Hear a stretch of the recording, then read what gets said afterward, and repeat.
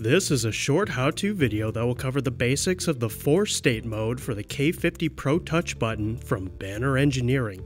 The first step is to connect the K50 Pro Touch to a Windows PC using the Pro Editor cable kit and by following the diagram in the Pro Editor datasheet.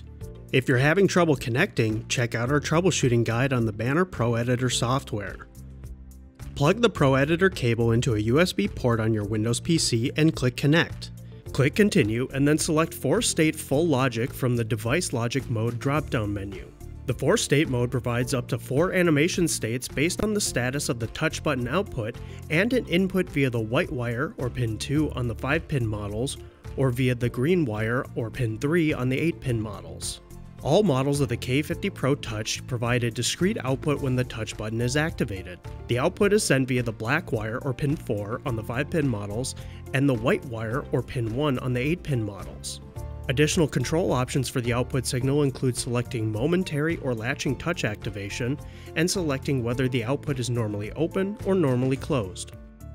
The K50 Pro Touch has 7 customizable animations with 14 color options. To preview an animation, click the Start button.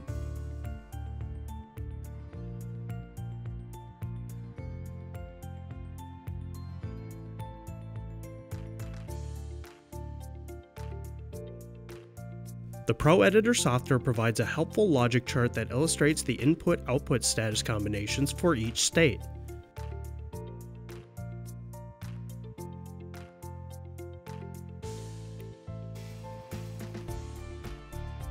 To write the configuration to the device, click the Write button.